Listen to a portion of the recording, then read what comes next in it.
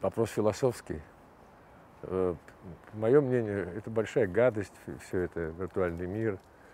Э, ну так, в общем. Э, Вот там, он связан со словом прогресс, тоже непонятно, что это такое, но для меня это тоже в каком смысле гадость.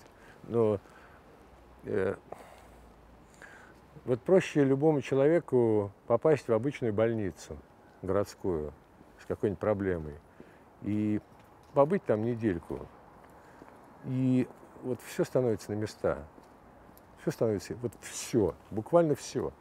Отношение к валюте, к, к виртуальному миру, к женщинам, к политикам, к Богу. Вот все.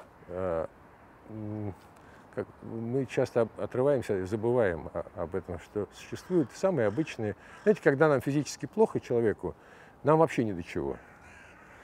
Когда припрет, прихватит, прижмет, прикусит, придавит, вообще ни до чего. Ни до какого виртуального мира, ни до каких соцсетей, ни до чего. И э, вот это состояние нужно знать, а, а если оно было, то помнить о нем периодически. А, а. Отсюда и выходят какие-то благотворительности и так далее, и так далее. Ясно, хорошо.